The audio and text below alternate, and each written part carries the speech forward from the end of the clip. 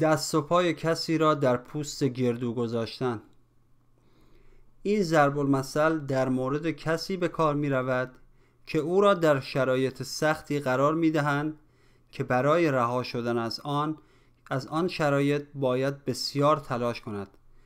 انسان در زندگی خود گاهی اوقات کاری را انجام می دهد که هرگز تصور نمی کند با شرایط سختی مواجه شود.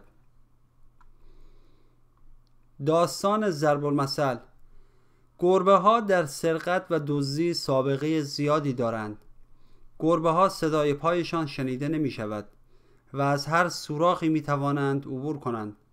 بنابراین اگر پنجره یا در باز باشد وارد خانه می شوند و در آشپزخانه گوشت یا مرغ را می دزدند.